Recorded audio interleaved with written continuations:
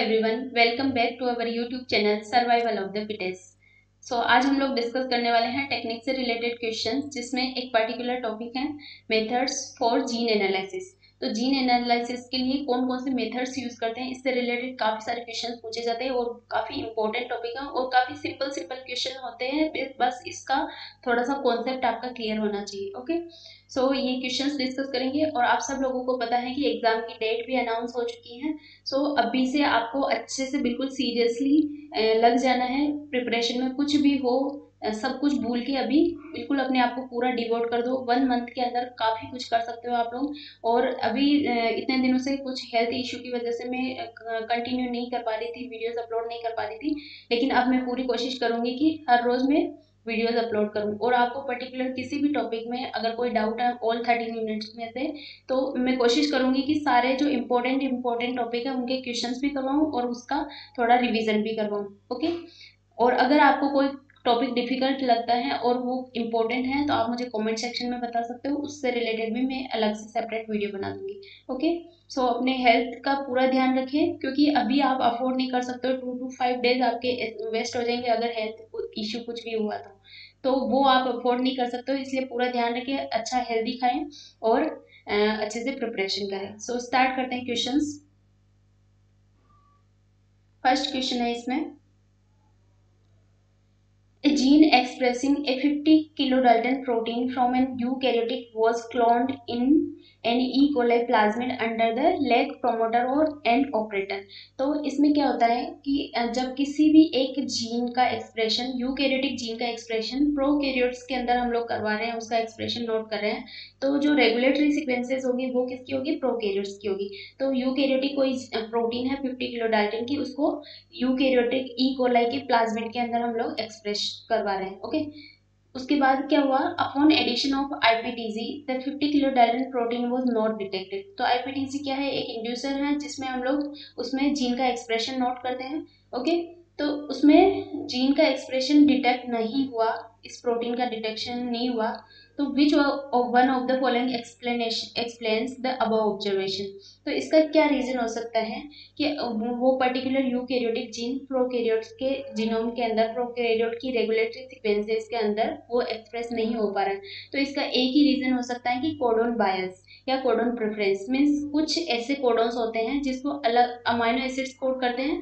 तो कुछ ऑर्गेनिज्म के अंदर अलग प्रेफरेंस देते हैं, कुछ ऑर्गेनिज्म के अंदर उनको अलग अलग अलग प्रेफरेंस देंगे। लाइक अभी stop codons U A A U A G ये तीन स्टॉप कोडॉन्स हैं, लेकिन उसमें सबसे ज़्यादा प्रेफरेंस यू ए जी को दिया जाता है ओके तो इसका यही रीज़न है कि कोडोन बायस की वजह से हो सकता है यू कैरियोट की eukaryotic protein prokaryotes के अंदर एक्सप्रेस नहीं हो पाई okay so differences in the relative frequency of synonymous codons for individual amino acid एक ही अमाइनो एसिड अलग अलग टाइप के कोडोन्स को कोड करता है, लेकिन वो प्रिफर अलग अलग टाइप के कोडोन को करता है ओके किसी एक पर्टिकुलर कोडोन को ज़्यादा प्रिफर करेगा और एक को कम प्रिफर करेगा in protein protein coding sequences okay तो इसका करेक्ट आंसर क्या हो जाएगा? Differences in codon preference option number third is the correct answer next question है you have transiently expressed a new protein for which no antibody is available एक कोई new protein है जिसकी कोई भी एंटीबॉडी अवेलेबल नहीं है okay okay?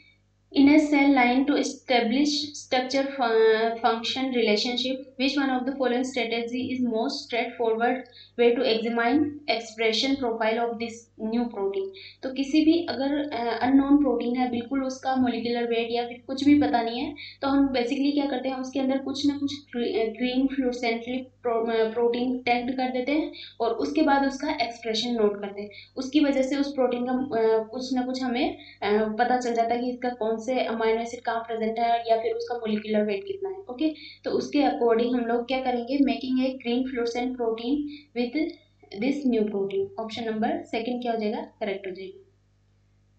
नेक्स्ट क्वेश्चन है.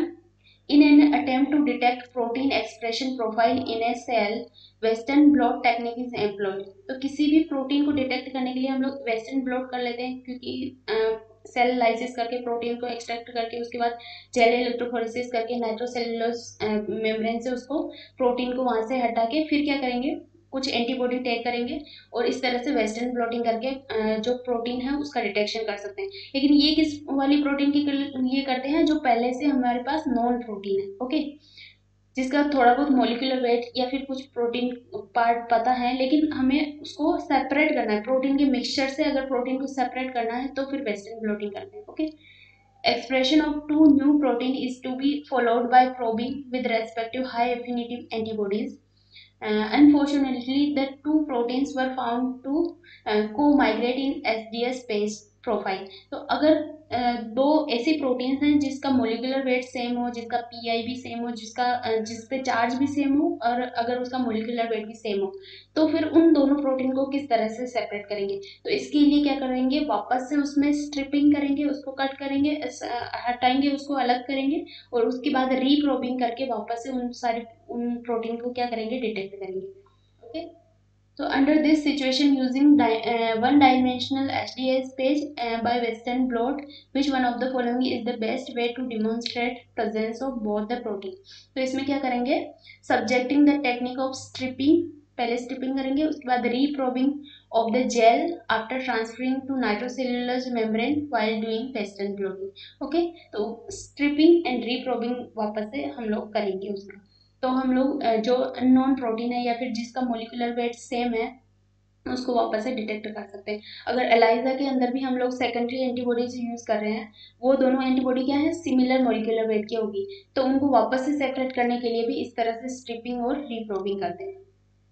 तो ऑप्शन नंबर फोर क्या हो जाएगा? करेक्ट देन नेक्स्ट क्वेश्चन है for identification of three protein moving together वही सेम क्वेश्चन है as a single band upon loading in a single lane of S D S PAGE gel the best method is तो western blot तो कर सकते हैं, लेकिन western blot non protein के लिए करेंगे। एन एम आर स्पेक्टर उसको भी नहीं होगा। Western blot followed by stripping and reprobing वही same question option number third is the correct answer next question है in order to check whether a protein has been phosphorylated during treatment with a drug you would perform तो protein के अंदर कुछ post translational modification कौन कौन से हो रहे हैं उसका मोलिकुलर वेट कितना है वो सब हम लोग किससे आइडेंटिफाई कर सकते हैं? वेस्टर्न ब्लोटिंग टेक्निक ओके तो सदन हाइब्रिडाइजेशन तो हमें पता है डीएनए के लिए कर, किया जाता है। हंची पे क्या होता है?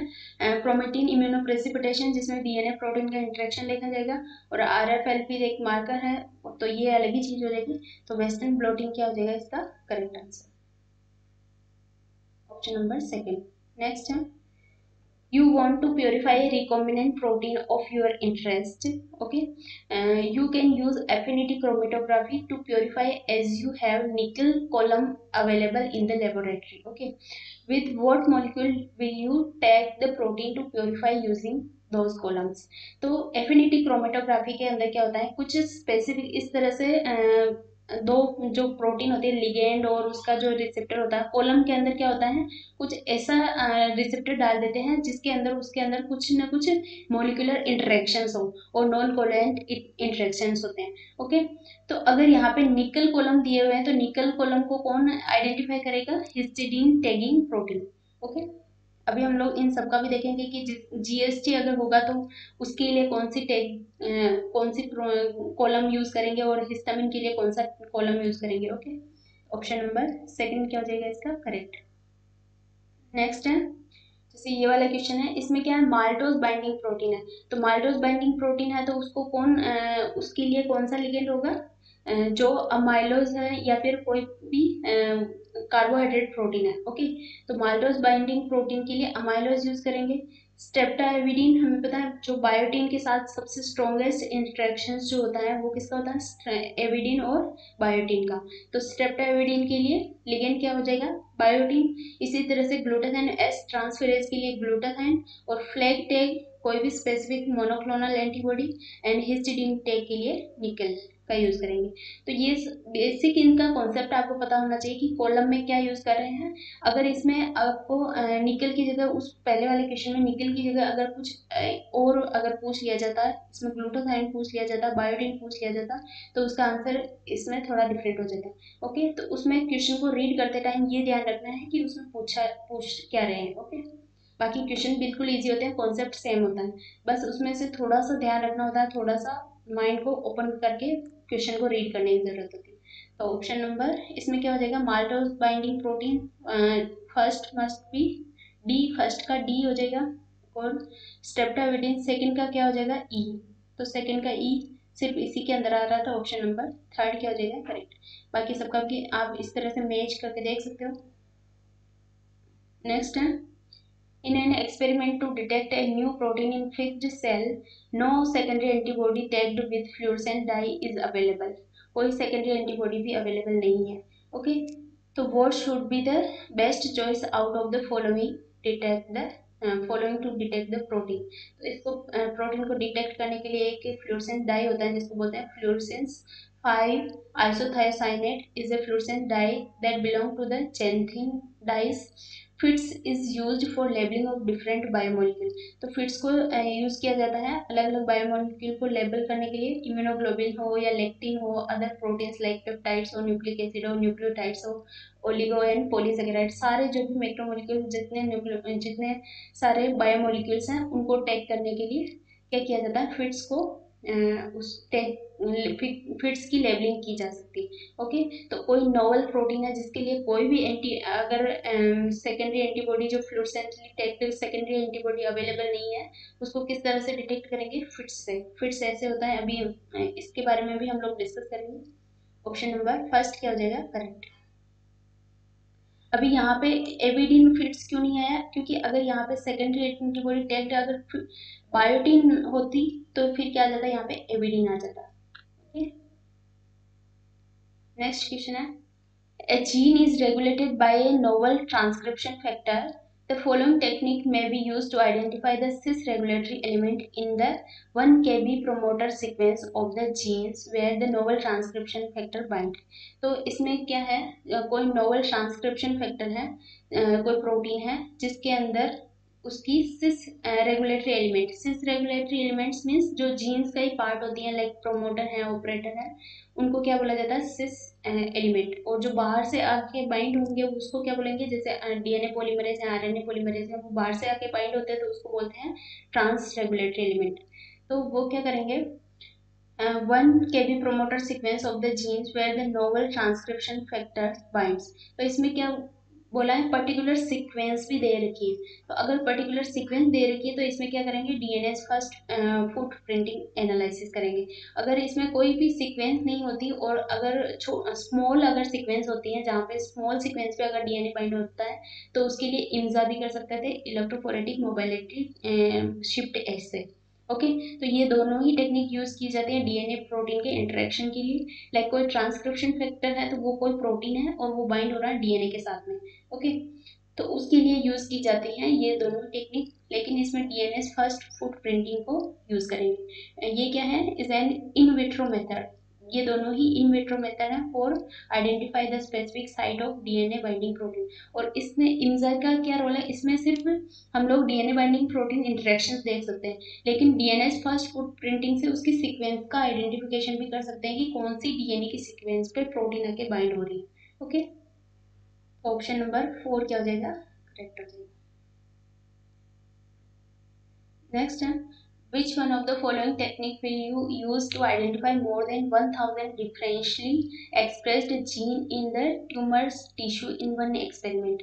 तो वन एक्सपेरिमेंट के अंदर अलग अलग टाइप के काफ़ी सारे जीन्स एक्सप्रेस हो रहे हैं उसको डिटेक्ट करने के लिए एक टेक्निक होती है जिसको बोला जाता है transcriptome analysis Transcriptome analysis is the study of the transcriptome of the complete set of RNA transcript that are produced by the genome under specific circumstances or in a specific cell using high throughput method okay तो इसमें RNA से RNA को use करके सारा jeans जितने भी express हो रहे हैं उसके बारे में डिटेक्शन किया जाता है so R A P D chip ऐसे और जीनोम सिक्वेंसिंग नहीं होगा इसमें तो बेस्ट जो आंसर होगा वो होगा option number four next question है during an experiment student found increase activity of protein for which there were three possible explanation increase expression of protein increase phosphorylation or increased uh, interaction with the other effector proteins After conducting several experiments, the student concluded that increased activity was due to increase phosphorylation तो उसके अंदर कोई ना कोई post translational modification हुआ phosphorylation हो चुका है। तो इसको किस तरह से आइडेंटिफाई करेंगे? Which one of the following experiment will not support provide the correct explanation drawn by the student तो ऐसा कौन सा एक्सपेरिमेंट है जो इसको सपोर्ट नहीं करता है? तो वेस्टर्न ब्लॉटिंग से हमें पता है कि पोस्ट ट्रांसलेशनल मॉडिफिकेशन को आइडेंटिफाई कर सकते हैं। उसके बाद मास स्पेक्ट्रोस्कोपी से उसका मोलिकुलर वेट के बेस पे हम पता लगा लेंगे कि जिसमें फॉस्फोराइलेशन नहीं हो रहा है, उसमें थोड़ा कम मास होगा। ओके? और फोस्फो अमाइनो एसिड एनालिसिस ये क्या होता है? Phospho amino acid analysis P A A is an experimental technique use in molecular biology to determine which amino acid or acid are phosphorylated in protein तो ये एक technique होती है जिसके अंदर कौन सा अमाइनो एसिड और कौन सी प्रोटीन के अंदर फोस्फोराइलेशन हुआ है, उसको डिटरमाइन किया जा सकता है। तो ये तीनों टेक्निक तो यूज़ करेंगे, लेकिन ट्रांसक्रिप्शन रेट को एनालिसिस करके हम ये पता नहीं लगा सकते कि फोस्फोराइलेशन हुआ है या नहीं ओके तो ये तो बिल्कुल ही रॉन्ग हो जाएगा यहाँ पे, क्योंकि ट्रांसक्रिप्शन तो क्या है आरएनए का फॉर्मेशन हो रहा है तो इसमें से तो बिल्कुल ये लॉजिकली भी सॉल्व किया जा सकता है इस टाइप का question option number second correct हो जाएगा. Next question is The presence and distribution of specific messenger RNA within a cell can be detected by तो आ, किसी भी मैसेंजर आरएनए अगर किसी सेल के अंदर डिस्ट्रीब्यूट रहता है तो उसके लिए एक टेक्निक होती है जिसको बोला जाता है इन सीटो हाइब्रिडाइजेशन इसमें क्या होता है the method of choice for mapping the intracellular distribution of messenger RNA is in is in situ hybridization with labeled nucleic acid probes. In this method, the cells are fixed and excess probe are removed by washing the uh, washing to detect the hybrids okay तो option number third क्या हो जाएगा इसका correct answer the next question is what will happen if DNA is labeled by Nick translation using uh, while doing DNA footprinting तो DNA footprinting के time में अगर nick translation कर दिया जाए तो फिर क्या होगा? निक ट्रांसलेशन का मतलब उसकी जो फाइव प्राइम केप होगी, उसको रिमूव करके फाइव प्राइम एंड पे कोई ना कोई प्रोब कोई ना कोई फ्लूड सेंचुअली टैग कर दिया जाएगा कुछ अनदर प्रोब को ओके तो प्रोबिंग के लिए निक ट्रांसलेशन यूज़ किया जाता है। तो इसमें क्या होगा? दो निक ट्रांसलेशन की जगह पे भी कट लग जाएगा और इसके बाद वापस से डीएनएस फुट प्रिंटिंग में डीएनएस भी वहाँ पे कट लगाएगा। तो स्मॉल स्मॉल फ्रेगमेंट्स जनरेट होंगे और इस टाइप के फ्रेगमेंट्स की वजह से वहाँ पे क्या होगा? Five prime to three prime end of D N A can not be arrange बिल्कुल सिमिलरली अच्छे से अरेंज नहीं हो पाएँगे five prime to three prime direction के अंदर। तो निक ट्रांसलेट इसलिए इसका आंसर क्या हो जाएगा? Option number four Nick translation could cause double-stranded DNA break if DNA polymerase first encounter another nick on the opposite strand resulting in two shorter fragments okay तो अलग अलग डायरेक्शन में शॉर्टर फ्रेगमेंट्स बनेंगे तो इसमें five prime to three prime direction में कोई भी डीएनए का अरेंजमेंट नहीं होगा। और डीएनए फुट प्रिंटिंग क्या होता है? जो भी डीएनए होता है, उसकी सीक्वेंसिंग करने के लिए डीएनए प्रोटीन के इंटरेक्शन को देखने के लिए क्या होता है? डीएनए से कट करेंगे और अगर जहाँ पे भी प्रोटीन बाइंड थी डीएनए के अंदर, वहाँ पे कट नहीं लगेगा। तो एक सैंपल के अंदर तो हम क्या करते हैं, डीएनए डीएनए फ़र्स्ट एंजाइम और प्रोटीन को साथ में करके उसको कट करवाते हैं। और एक में सिर्फ़ डीएनए का सैंपल और डीएनए फ़र्स्ट को रखते हैं ताकि जहाँ पे भी डीएनए कट लगेगा, फिर उन दोनों सैंपल को कंपेयर करते हैं। तो जहाँ पे भी प्रोटीन बाउंड थी उस डीएनए के साथ में, उस जगह पे बेंड नहीं शो होगा और इसमें तो बेंड शो हो रहा है। तो उन दोनों को कंपेयर करके हम लोग देख सकते हैं कि कहाँ पे डीएनए में प्रोटीन का इंटरेक्शन हो रहा था ओके तो नेक्स्ट क्वेश्चन इज़ ये कुछ टेक्निक्स हैं और उनकी एप्लीकेशन दी हुई है। तो इसमें चिप के बारे में हमें पता है क्रोमेटिन इम्यूनो प्रेसिपिटेशन जिसमें ट्रांसक्रिप्शन फैक्टर या डीएनए प्रोटीन डीएनए के साथ कहाँ पे बाइंड हो रही है, उसको देखते हैं इन वीवो कंडीशन के अंदर ओके तो identification of binding site of transcription factors ये करेक्ट हो जाएगा। उसके बाद अलाइजा के बारे में सबको पता है quantification of transgene expression then bisulphide sequencing करते हैं एनालिसिस ऑफ़ मिथाइलेशन साइट्स के लिए। एंड उसके बाद क्या हुआ?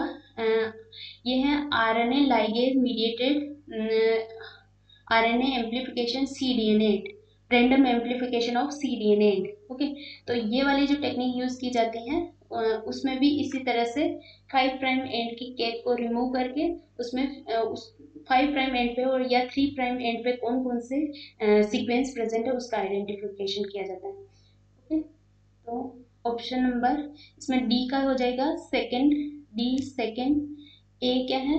ए का हो जाएगा थर्ड ऑप्शन नंबर फ़र्स्ट क्या हो जाएगा? करेक्ट हो जाएगा। The next question is, diagnosis of influenza virus infection can be done using some of the following techniques. तो इसमें इन्फ्लुएंजा वायरस के इन्फेक्शन को डायग्नोस करना है तो क्या करेंगे हम लोग? इसमें R T P C R कर सकते हैं। जीन का एक्सप्रेशन कितना हो रहा है प्रोटीन का एक्सप्रेशन कितना हो रहा है उसको डिटेक्ट करने के लिए, या फिर वेस्टर्न ब्लोटिंग कर सकते हैं ओके या फिर एलाइजा भी कर सकते हैं। तो इसमें फ़र्स्ट ऑप्शन है western blot and southern blot तो सदर्न ब्लॉट तो डीएनए के लिए करते हैं, ये नहीं होगा। Then northern blot and western blot ये हो सकता है। उसके बाद है ELISA and R T P C R ये भी बिल्कुल करेक्ट है। तो option number B and C क्या हो जाएगा? करेक्ट हो जाएगा। Next question is if one wishes to design a microarray chip for whole genome expression analysis of an eukaryotic system. Which region of the gene should be prepared for selection of unique trans, target sequences okay तो इसके लिए, इसका answer मैं बता रही हूँ, लेकिन इसका क्या रीज़न है पर्टिकुलर आप इस वीडियो को सीरियसली देख रहे हो या नहीं? इसको चेक करने के लिए आपको इसका पर्टिकुलर आंसर आपको मुझे कमेंट सेक्शन में बताना है कि ऐसा क्या रीज़न है जिसकी वजह से three region from coding DNA sequence and three prime untranslated region इसी वाली यूनिक सीक्वेंस को टारगेट किया जाता है। अगर होल जीनोम की सीक्वेंसिंग एनालिसिस करना है हमें चिप ऐसे के अंदर। ओके तो आप मुझे बताओगे कि इसी वाले रीजन को क्यों लिया जाता है particularly okay option number second क्या हो जाएगा? करेक्ट देन नेक्स्ट है क्रोमेटिन इम्यूनोप्रेसिपिटेशन क्रोमेटिन इम्यूनोप्रेसिपिटेशन किसके लिए करते हैं? डीएनए प्रोटीन के इंटरेक्शन के लिए करते हैं ये भी। Assay was perform to determine specific transcription factor binding site on the promoter of a gene pull down was done using either immunoglobin G इसमें स्पेसिफिक एंटीबॉडी रखते हैं immunoglobin G and anti antibodies against c-Myc genes A DNA containing c-MYC binding region was used as a control for PCR amplification. इसमें ये कोई, ये input है जिसको as a control रखा हुआ है जिसमें डीएनए कंटेनिंग सी-MYC बाइंडिंग रीजन जहाँ पे डीएनए सी-MYC के साथ में बाइंड है ओके तो which one of the following PCR representation of DNA is correct तो इसके अंदर हमें ये आइडेंटिफाई करना है कि कौन सा करेक्ट है तो इनपुट के अंदर हमें लॉजिकली पता होना चाहिए कि डीएनए के साथ अगर प्रोटीन बाइंड है बाउंड फॉर्म में है तो वहाँ पे सबसे ज़्यादा बेंड आने वाला है। इनपुट के अंदर सबसे ज़्यादा बेंड आएगा, उसके बाद इसका बेंड की जो स्ट्रेंथ है वो क्या हो जाएगी, कम हो जाएगी। तो ऑप्शन नंबर सेकंड के अंदर ऐसा देखने को मिल रहा है। इसमें एंटीसीमिक में ये वाला एक्सप्रेशन इंक्रीज हो गया तो ये नहीं होगा, और यहाँ पे ये वाला हो गया। ओके तो इनपुट के अंदर सबसे ज़्यादा ब्रॉड बैंड इसी के अंदर आ रहा है। इस वजह से ऑप्शन नंबर सेकंड क्या है? करेक्ट नेक्स्ट है one aims to find out the role of a gene product in macrophages using by using a transgenic mouse expressing the gene under a promoter okay which one of the following is the most appropriate promoter तो gene product in macrophages कुछ macrophages cell है, जिसके अंदर कुछ gene product को के expression को find करना है। और उसके लिए कोई ना कोई स्ट्रॉन्ग प्रोमोटर यूज़ किया गया है। तो उस प्रोमोटर उसमें प्रोमोटर कौन सा होगा? Macrophages one C D eleven B promoter use करेंगे। मैक्रोफेज के लिए मैक्रोफेज वाला प्रोमोटर ही यूज़ करेंगे। ओके ऑप्शन नंबर थर्ड क्या हो जाएगा? Correct which one of the following indicate steps involving DNA footprinting to monitor interaction of DNA with a protein तो फुट प्रिंटिंग के बारे में अभी मैंने बताया था आपको। सबसे पहले क्या करेंगे? Label one of the DNA strand with a radio label एक डीएनए स्टैंड को रेडियो लेबल करेंगे। Then treat one portion of label DNA with the protein of interest followed by reaction with DNA एक में क्या करेंगे? उसमें one portion of label DNA with the protein of interest protein of interest से treat करेंगे then उसके बाद DNA first से ट्रीट करेंगे। एंड सेकंड जो पोर्शन होगा डीएनए का, उसमें क्या करेंगे? ओनली डीएनए रखेंगे। तो फिर उनको दोनों को ही क्या करेंगे? कंपेयर कर लेंगे। Run both the created DNA sample on a sequencing gel so option number second क्या है? करेक्ट नेक्स्ट है choose the correct sequence of event in a next generation sequencing technology based on whole genome sequencing तो इसके अंदर क्या करेंगे? DNA को extract extract करेंगे, फिर उसकी कटिंग करेंगे देन उसके बाद उसमें कुछ ना कुछ प्रोब एडेप्टर लाइगेट करेंगे। उसके बाद क्या करेंगे? उसकी एम्पलीफिकेशन करेंगे एंड उसकी जीन की सीक्वेंसिंग करेंगे और फिर उसका एनोटेशन करेंगे, उसकी उसको क्या करेंगे? असेंबली फिनिशिंग एनोटेशन ये सारी चीज़ें करेंगे। तो ऑप्शन नंबर थर्ड में ऐसा कहाँ पे दिखाई दे रहा? है इसमें क्या है? डीएनए एक्सट्रैक्शन हो जाएगा शेयरिंग फिर लाइब्रेरी प्रिपरेशन लाइब्रेरी प्रिपरेशन पहले नहीं होगा, उसमें एडेप्टेड लाइगेशन पहले होगा। ओके तो इसमें लाइब्रेरी प्रिपरेशन पहले ही कर दिया है। उसके बाद इसमें एडेप्टेड लाइगेशन पहले ही कर दिया तो ऑप्शन नंबर थर्ड हमारा क्या है? सबसे बेस्ट है। इसमें डीएनए को एक्सट्रैक्ट करेंगे, फिर शेयरिंग मीन्स उसकी कटिंग देन एडेप्टर लाइगेशन फिर उसके बाद लाइब्रेरी एम्पलीफिकेशन देन सिक्वेंसिंग और असेंबली एंड फिर फिनिशिंग हो जाएगी और फिर एनोटेशन करेंगे। पर्टिकुलर जीन की सीक्वेंस के बारे में देखेंगे स्पेसिफिक जीन की sequence okay then submission to gene bank next question है figure A and B respectively represent the sequencing gel obtain from for partial sequences from 5 prime end of the bacterial gene and its mutant with a point mutation तो इसमें कुछ mutation हुआ है तो उसको identify करना है। और ये क्या है वाइल्ड टाइप और ये क्या है म्यूटेंट है। तो म्यूटेशन कहाँ पे हुआ है और किस टाइप का म्यूटेशन हुआ, उसको डिटेक्ट करेंगे। तो पहले इसको क्या करेंगे हम लोग फाइव प्राइम एंड से इसकी सीक्वेंस को देख लेंगे। यहाँ पे आ रहा है टी फिर है ए फिर है सी देन सी फिर क्या है जी और इस तरह से पूरी सीक्वेंस देखेंगे और फिर इसकी भी सीक्वेंस को देखेंगे और फिर इसको मैच करेंगे। तो यहाँ पे मैच करें तो यहाँ तक तो ये सीक्वेंस आ रही है, लेकिन फिर उसमें क्या हुआ, एक चीज़ का, या तो इंसर्शन हो जाए या डिलीशन हो जाए तो उसको बोला जाता है फ्रेम शिफ्ट म्यूटेशन जिसकी वजह से पूरा पेज जो पूरी उसकी रीडिंग फ्रेम है, वही चेंज हो जाती है। ओके तो इसमें क्या हो गया फ्रेम शिफ्ट म्यूटेशन हो गया। ऑप्शन नंबर थर्ड क्या है? Correct missense mutation nonsense mutation transversion ऐसा नहीं होगा। ट्रांसवर्जन में क्या होता है? प्यूरिन की जगह पे पायरिमिडीन आ जाता है। लेकिन यहाँ पे ऐसा नहीं हो रहा है। तो ऑप्शन नंबर थर्ड क्या हो जाएगा? करेक्ट इसको इन इन सारी सीक्वेंस को आप मैच करके देखना एक बार कि किस तरह से इसमें चेंजेस आ रहे हैं। ये इंसर्शन हो रहा है या डिलेशन हो रहा है? देन नेक्स्ट क्वेश्चन है।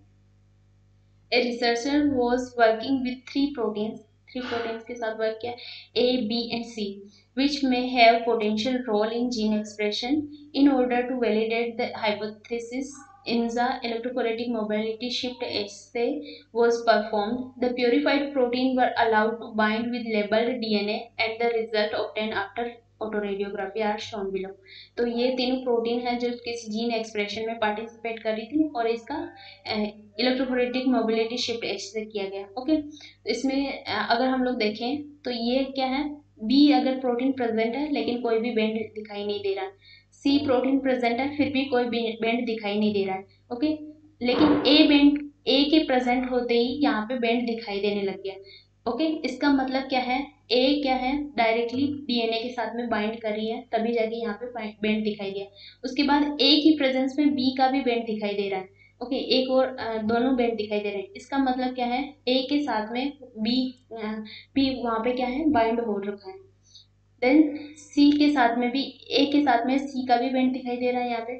तो ऑप्शन इसमें से following interpretation were made protein A possesses the DNA binding motif तो डेफिनेटली प्रोटीन ए के अंदर डीएनए बाइंडिंग मोटिव है। इसी वजह से प्रोटीन ए के आते ही यहाँ पे बेंड दिखाई देने लग गया। Okay then protein B possesses the DNA binding protein अगर बी के अंदर डीएनए बाइंडिंग प्रोटीन मोटिव होता तो ये यहाँ पे बेंड दिखाई देना चाहिए था। लेकिन ए की प्रेजेंस में बी में बैंड दिखाई दे रहा है। इसका मतलब क्या है? यहाँ पे ये ए के साथ में वर्क कर रहा है ओके तो protein B bind to DNA protein A complex तो डीएनए प्रोटीन का ए का जो कॉम्प्लेक्स है, उसके साथ में बी भी बाइंड कर रहा है ओके तो ऑप्शन नंबर फ़र्स्ट और थर्ड क्या हो जाएगा correct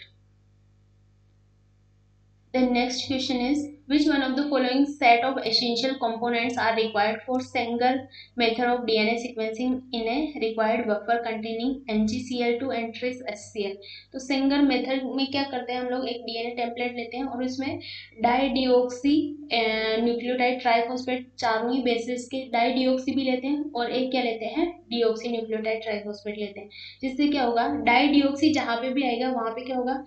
एंड हो जाएगा टर्मिनेट हो जाएगा वो और वहाँ पे हम लोग फ्लूरसेंटली टैग्ड कर देते हैं उसको ताकि वहाँ पे हमें पता चल जाएगा कि कौन से नाइट्रोजिनस बेसिस पे एंड हुआ है। ओके ये हम लोग अभी आपको अगर थोड़ा सा भी आइडिया है कि सेंगर सीक्वेंसिंग किस तरह से करते हैं डीएनए की सीक्वेंसिंग तो कोई डीएनए जैसे प्रेजेंट है वहाँ पे। और हम लोग क्या कर रहे हैं थ्री प्राइम से डीएनए पॉलीमरेज से डीएनए का सिंथेसिस कर रहे हैं। तो जहाँ पे डाई डिओक्सी न्यूक्लियोटाइड ट्राइफॉस्फेट आएगा, वहाँ पे एंड हो जाएगा। फिर उसके बाद इस तरह से काफ़ी सारे फ्रेगमेंट्स बनने लग जाएँगे। और जहाँ पे एंड हुआ है, वो क्या होगा? या तो जी पे होगा, या ए पे होगा, या टी पे होगा, या सी पे होगा। तो उस वजह से उस वाली सीक्वेंस को हम लोग देख लेते हैं और फिर उससे आइडेंटिफाई कर लेते हैं कि कौन सी सीक्वेंस किस तरह की सीक्वेंस डीएनए के अंदर प्रेजेंट है ओके तो डीएनए टेम्पलेट चाहिए होगा प्राइमर चाहिए होगा। प्राइमर क्योंकि डीएनए का सिंथेसिस करवाना है। फिर उसके बाद फोर डीऑक्सी राइबोन्यूक्लियोटाइड टाइड्स चाहिए यहाँ पे। चारों बेसिस के। उसके बाद four labelled labelled dideoxy ribonucleotides चाहिए उसके बाद क्या होगा? डीएनए पॉलीमरेज चाहिए सिंथेसिस करने के लिए। तो लेबलिंग उससे हम लोग फ्लोरसेंटली हम लोग देख सकते हैं कि कहाँ पे ए की पीक आ रही है जी की पीक आ रही है, या फिर सी की आ रही है। इस तरह से सिंगल सिक्वेंसिंग में हम लोग डीएनए की सिक्वेंसिंग कर सकते हैं। ऑप्शन नंबर फ़र्स्ट क्या हो जाएगा? Correct then next question is in order to detect minor variation in antigen concentration the following procedure were suggested uh, which one will likely to be the best कोई two antigen है अगर उनके अंदर minor variation present है तो उसको किस तरह से डिटेक्ट कर सकते हैं? हम लोग को पता है एलाइजा टेस्ट भी इसी तरह का होता है, जिसके अंदर एंटीजन की के अंदर वेरिएशन को देखा जाता है ओके तो उसमें एक एंटीबॉडी डालेंगे, उसके बाद वापस से सेकेंडरी एंटीबॉडी डालेंगे, जो एंजाइम लिंक्ड होगी या फिर कोई फ्लूसेंटली लिंक्ड होगी।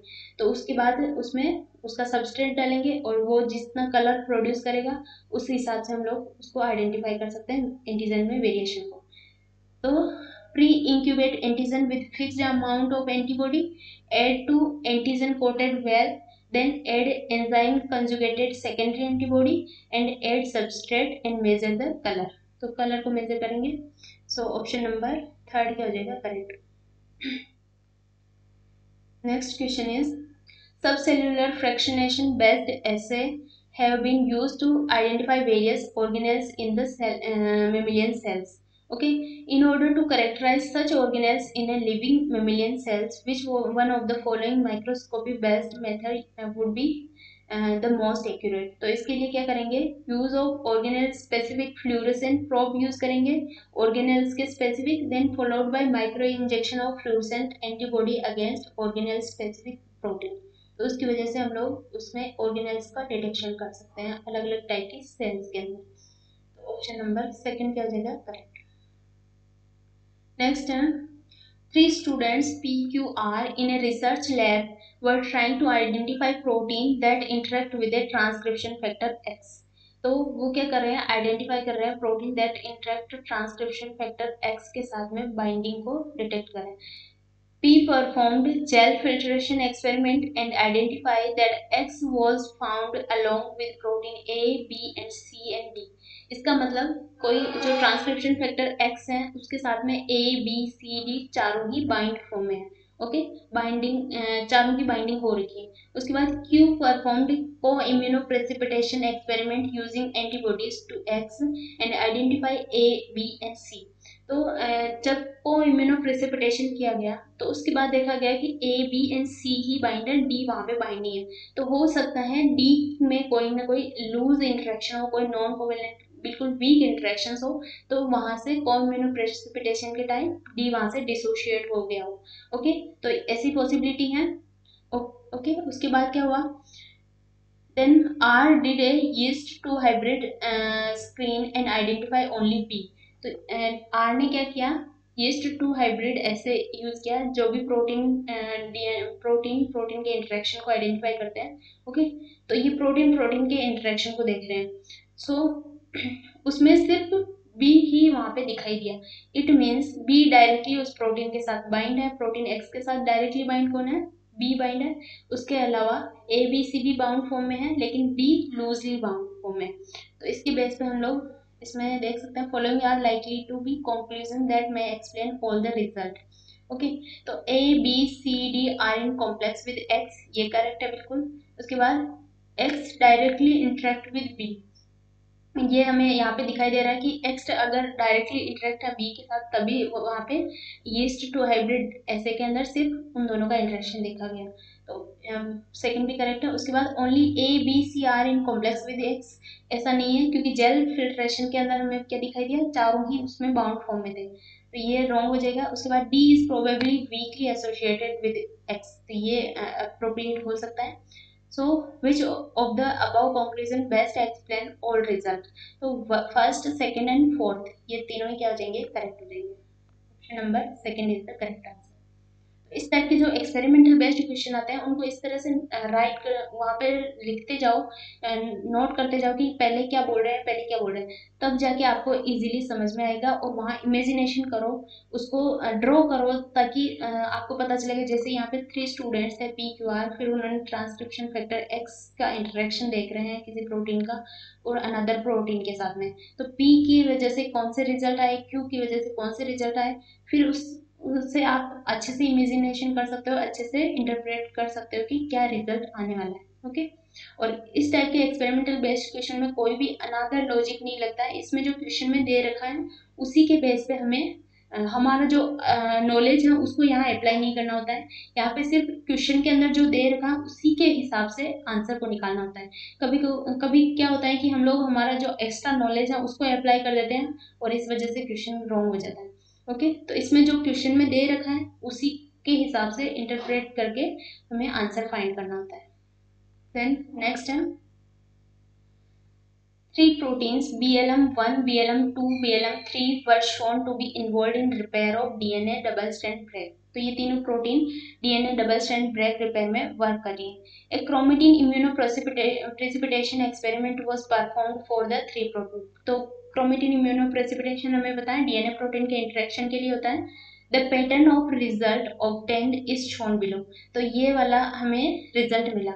इसमें क्या है? Zero minute before break break लगने से पहले, उसके बाद थर्टी मिनट आफ्टर ब्रेक तो आफ्टर ब्रेक के बाद में इस टाइप के रिज़ल्ट आए और इसमें ब्रेक लगने से पहले ये वाले रिज़ल्ट थे। ओके तो इसमें इनपुट में देख सकते हैं बी एल एम वन ये तीनों ही हैं। उसके बाद zero K B from break means जहाँ पे ब्रेक साइड प्रेजेंट है, उसी साइड पे बी एल एम वन का या बेंड नहीं दिखाई दे रहा, कम दिखाई दे रहा है। बी एल एम टू का दिखाई दे रहा है। इट मीन्स क्या है? ये तो इनपुट है हमारा। इनपुट जैसा ही दिखाई दे रहा है इट मीन्स यहाँ पे कोई भी प्रोटीन बाइंड नहीं हो रही। लेकिन बी एल एम टू का ब्रोड आ रहा है band it means B L M two break side पे प्रेजेंट है। Then B L M three का भी इसी तरह से होगा। तो फ़र्स्ट और थर्ड तो ब्रेक साइड पे प्रेजेंट नहीं है। उसके बाद और बी एल एम टू क्या है? ब्रेक साइड पे भी प्रेजेंट है और one K B from break side one K B उसके अनदर साइड पे भी प्रेजेंट है B L M two okay उसके बाद क्या हुआ? आफ्टर ब्रेक आफ्टर ब्रेक क्या हुआ? बी एल एम टू का कोई भी बैंड ब्रॉड बैंड दिखाई नहीं दे रहा है। इसका मतलब ब्रेक लगने के बाद बी एल एम टू वहाँ से रिमूव हो गया रिलीज़ हो गया। और बी एल एम वन का zero K B from break break की साइड पे बेंड दिखाई देने लग गया। इसका मतलब ब्रेक लगने के बाद B L M one break side पे प्रेजेंट है और बी एल एम थ्री भी प्रेजेंट है। बी एल एम थ्री भी वहाँ पे साथ में एसोसिएट है।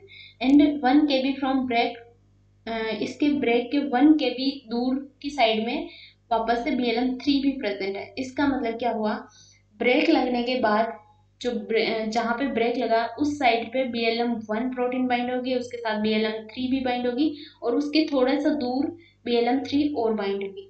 इसके बेस पे हम लोग इंटरप्रेट करें तो B L M one two three bind to D N A break side तीनों ही बाइंड नहीं है।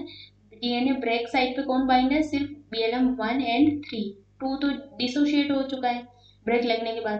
तो ये नहीं होगा। उसके बाद B L M one bind to the break side यहाँ तक करेक्ट है? B L M three bind to the break side and beyond break side पे भी बाइंड है और उसके बियॉन्ड भी बाइंड है। ये बिल्कुल करेक्ट हो जाएगा। उसके बाद B L M two remain bound to D N A after the break is induced remain bound नहीं रहेगा। ये क्या हो जाएगा? यहाँ से डिसोसिएट हो जाएगा। ओके तो ये रॉन्ग हो जाएगा। उसके बाद B L M three bind to D N A irrespective of the break irrespective नहीं होगा। रेस्पेक्टिव क्योंकि हम लोग देख रहे हैं ब्रेक से पहले तो बाइंड था, उसके बाद रिलीज़ हो गया। इसका मतलब इसमें D N A bind break से उसमें न, कुछ ना कुछ चेंजेस हुए हैं। तो ऑप्शन नंबर सेकेंड क्या हो जाएगा? करेक्ट हो जाएगा। Next question is detergents at low concentration generally do not denature proteins and are thus use for extracting proteins in their folded and active form for isolation of porins porin protein हमें बताएँ जो prokaryotes होते हैं या mitochondria chloroplast की outer membrane होती है, उस पर कुछ पोरिन प्रोटीन प्रेजेंट रहती है इस तरह से बीटा बेरल शेप में बीटा बेरल फॉर्म में in E coli membrane protein which one of the following purification approach will be most appropriate तो मेम्ब्रेन की इंटीग्रल मेम्ब्रेन प्रोटीन है पोरिन उसको हमें क्या करना है? प्योरीफाई करना है ओके तो क्या करेंगे? Use of salt solution containing non ionic detergent detergent का तो यूज़ करना है वहाँ पे लेकिन नॉन आयनिक डिटर्जेंट यूज़ करेंगे। अगर आयोनिक डिटर्जेंट यूज़ कर रहे हैं तो हो सकता है वहाँ पे पेरीफेरल पे भी जो अनदर प्रोटीन प्रेजेंट हो वो भी वहाँ से डिसोशिएट हो सकते हैं। तो सबसे बेस्ट अप्रोच क्या होगी? जिसमें नॉन आयोनिक डिटर्जेंट यूज़ करेंगे और सॉल्ट का सोल्यूशन यूज़ करेंगे। So so, solution containing non non-ionic option number third क्या हो जाएगा? करेक्ट नेक्स्ट है कॉलम एक्स इसमें ये कुछ क्या दिया हुआ है? टू डिज़ीज़ डिज़ीज़ है ये। और column Y list name of protein which are commonly use for routine clinical diagnosis of this disease तो ये कुछ प्रोटीन्स हैं जो इनके डायग्नोसिस के लिए यूज़ की जाती हैं।